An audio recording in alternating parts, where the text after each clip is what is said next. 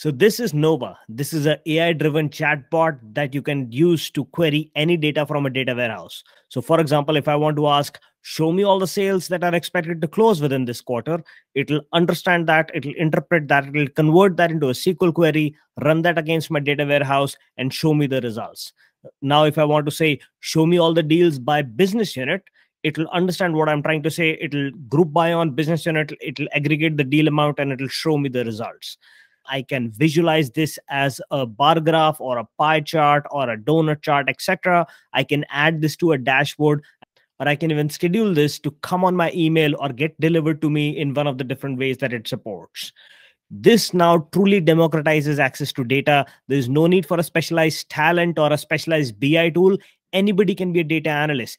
And this makes analytics really intuitive and takes you from data to insights really fast.